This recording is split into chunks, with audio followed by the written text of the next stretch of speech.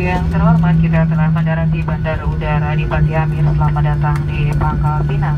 Silakan tetap duduk sampai pesawat ini telah berhenti dengan sempurna dan lampu tanda kenakan sabuk pengaman telah dipadamkan. Kami ingatkan bahwa saat ini belum diperbolehkan menghidupkan dan menggunakan telepon genggam sampai